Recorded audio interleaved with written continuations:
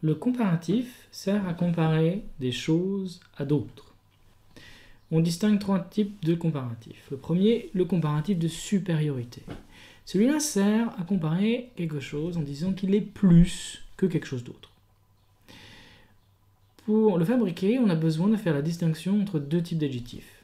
Les adjectifs courts et les adjectifs longs.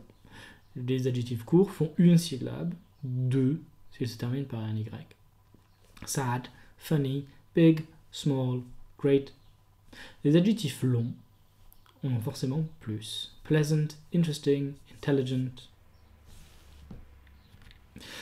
Pour les adjectifs courts, quand on veut utiliser du comparatif, on va simplement rajouter ER ou R s'il y a déjà un E à la fin de l'adjectif lui-même, puis rajouter than.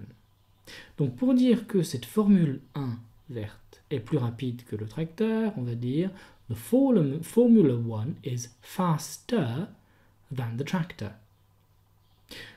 La Formule 1 est rapide, the Formula One is fast, plus rapide que. It is faster than the tractor. Quand c'est un adjectif long, on, on ne va pas rajouter ER à la fin.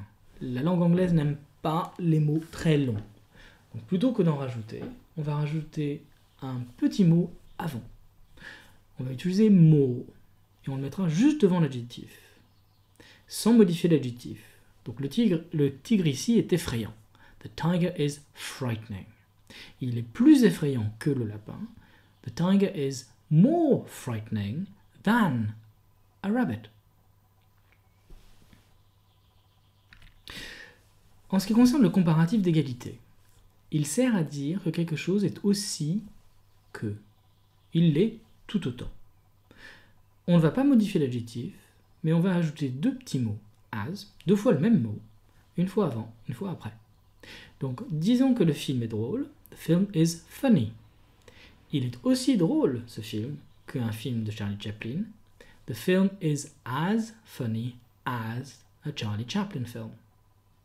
Ça marche pour tout type d'adjectif. On ne modifie pas l'adjectif, qu'il soit long ou court, quand on met un comparatif d'égalité. The film is as funny as Charlie Chaplin. The player is as good as another player, and so on. En ce qui concerne le dernier comparatif, celui d'infériorité, celui-là sert à dire qu'une chose est moins que. Et on fait comme pour mot, on met un petit mot avant l'adjectif. Less. Less, adjectif, Donc disons qu'Astérix est moins fort qu'Obélix. Astérix is less strong than Obélix. On utilise less que l'adjectif soit long ou court d'ailleurs. Asterix is less big than Obelix. Obelix is less intelligent than Asterix.